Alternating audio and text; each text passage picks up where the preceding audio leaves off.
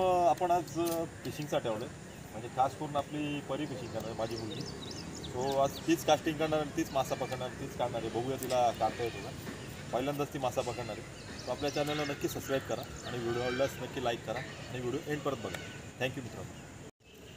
बघू परी. कास्टिंग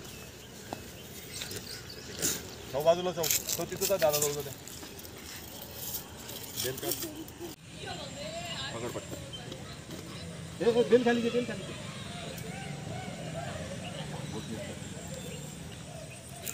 मार बेल मार हा, बस बेल खाली टाक शाबास.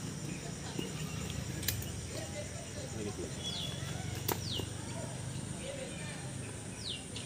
घेतला ना आत,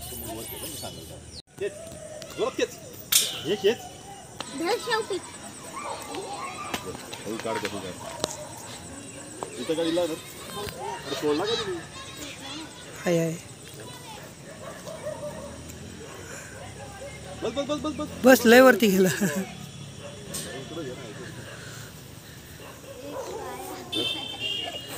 एक मस पकड़